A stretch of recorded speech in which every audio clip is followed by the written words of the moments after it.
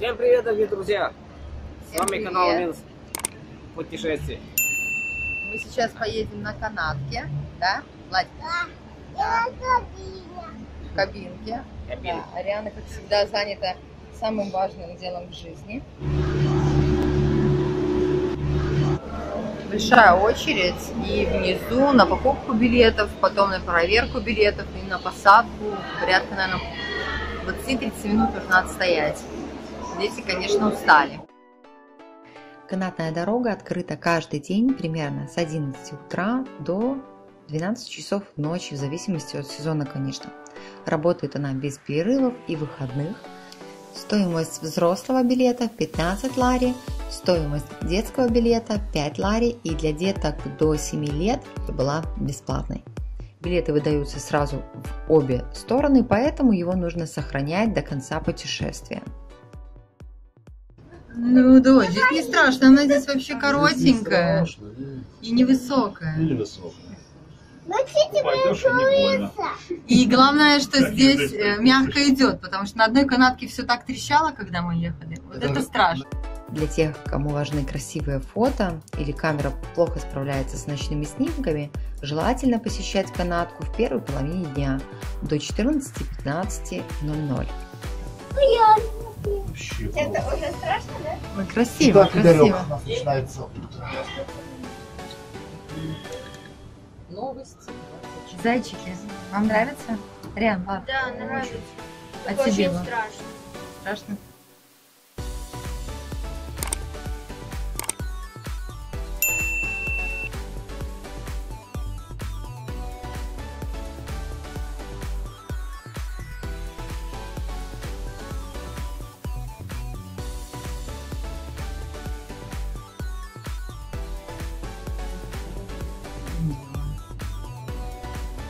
Здесь, наверное, вечером красиво.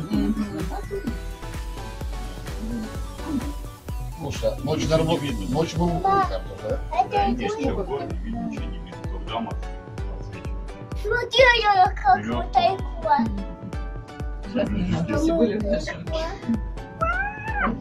Да. Искреннее ощущение у Влада. Ночью холодно, что ли?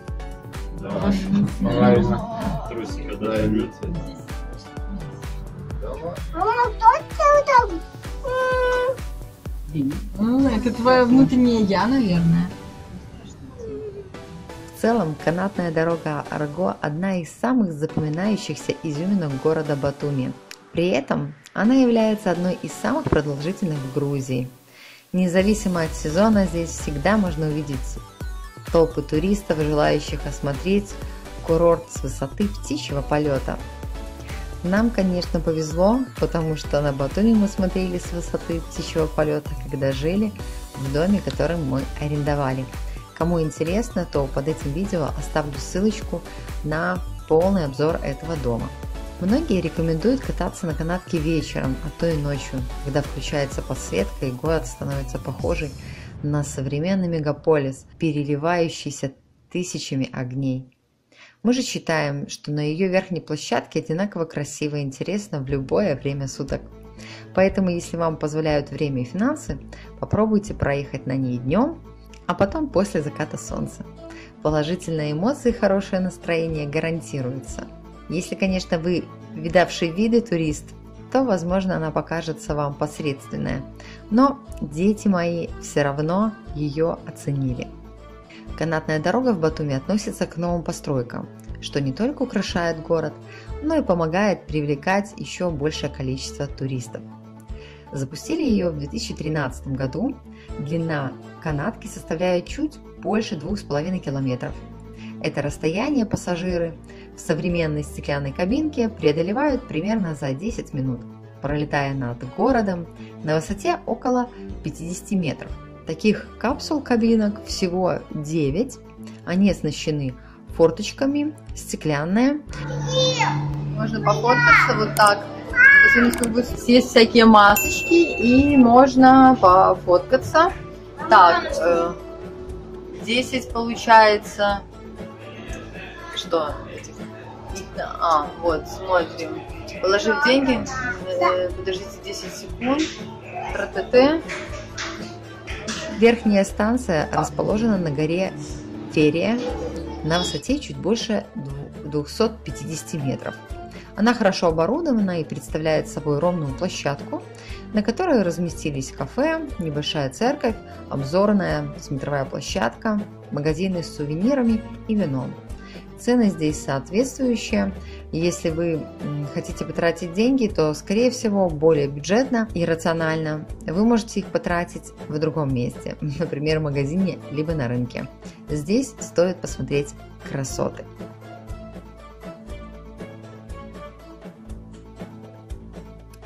Помимо всего прочего, на площадке э, внутри строения есть бесплатный туалет и отлично работающий Wi-Fi.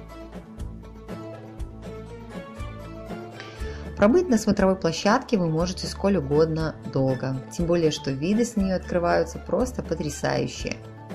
Если повезет с погодой, то вы увидите весь Батуми как на ладони. А если захочется разглядеть что-то более детально, то рядом найдется большой платный бинокль, обойдется он около одного лари. Опять-таки ваши дети его оценят. При этом стоит учитывать, что летом на верхней площадке довольно жарко, поэтому не забывайте головные уборы. И если ваши планы не входят посещение кафе на смотровой площадке и, соответственно, дополнительные траты, то возьмите с собой питьевую воду. Как добраться до канатки? Эта информация больше всего подойдет туристам, которые отдыхают в соседних с Батуми поселках Сапри, Кабулете, Уреке, Наиболее быстро и недорого добраться к нижней станции канатной дороги можно на автобусе, следующем в город. Рекомендуем обратиться к водителю или пассажирам, они обязательно подскажут нужную остановку.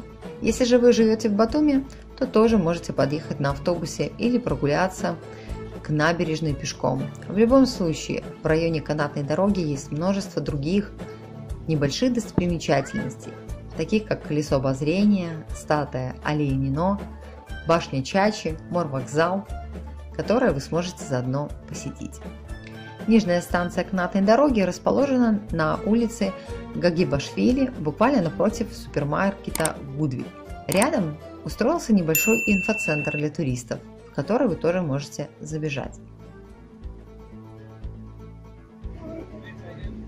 Можно обрядиться в тематические такие наряды и тоже пофоткать, как делают люди. Ну, да, нам не интересно.